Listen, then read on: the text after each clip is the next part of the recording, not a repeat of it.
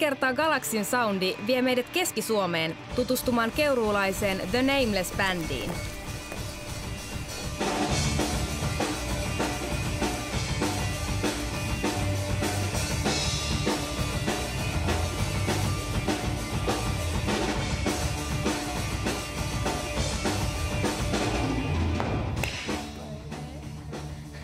Ei mihinkään, Peijoni.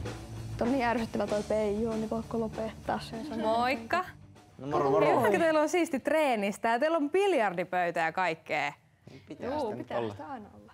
Mutta käykö että jätetään tää peli hetkeksi ja mennään juttelemaan vähän enemmän teidän bändistä tonne? Ok, Joo. tehdään näin.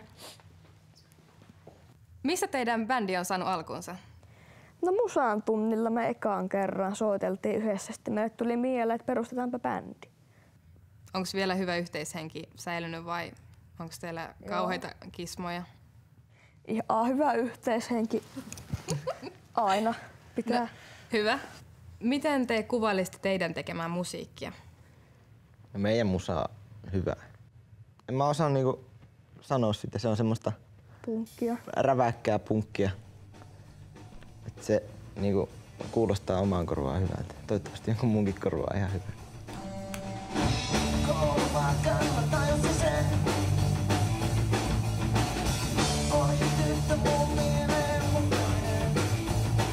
Mistä saatte inspiraatiota niihin sanotuksiin ja onko niillä jotain sanomaa?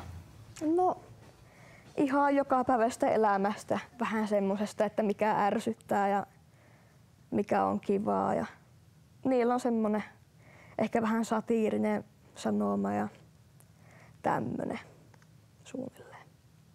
Mitä tulevaisuuden kuvia teillä on bändille?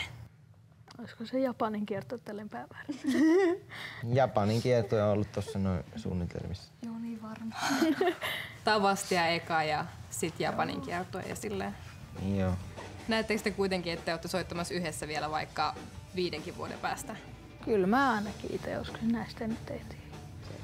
Nää Tää potkii mut. soittaa varmaan yksin sitten, jos se uskoo se Sitä ei tiedä, mitä tulevaisuus tuo tullessaan. Kyllä mä ainakin voisin ihan hyvin soittaa vielä monen vuoden päästä näiden samojen ihmisten kanssa.